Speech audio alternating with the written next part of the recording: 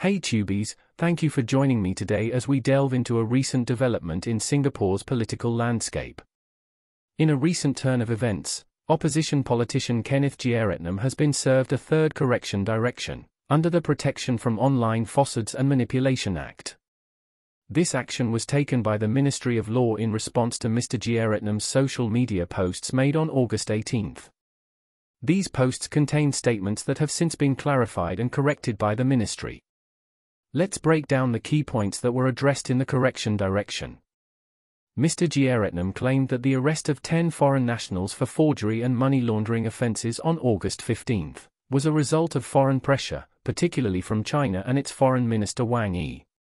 However, the Ministry of Law clarified that the Singaporean police had identified the suspects through intelligence probes and extensive investigations. The operation had been in planning for several months and was not influenced by any foreign party.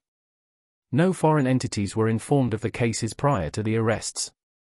In another statement, Mr. Jeyaretnam suggested that the Corrupt Practices Investigation Bureau, CPIB, probe into Minister for Transport S. Iswaran and businessman Ong Beng Seng was prompted by foreign pressure.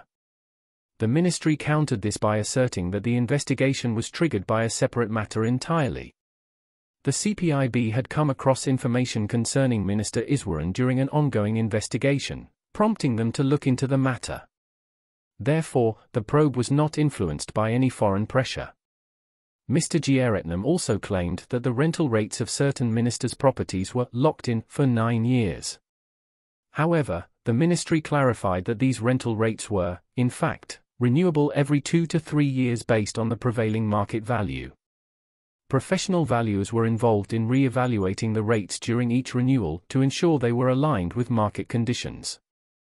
It's important to note that this is the third POFMA correction direction that Mr. Jeyaretnam has received. The prior two directions were also related to his statements about the rental and tenancy details of specific properties. This series of correction directions reflects the government's commitment to address misinformation and ensure accurate information is available to the public. Now, I'd like to hear from you, our valued viewers. What are your thoughts on POFMA and its role in correcting misinformation?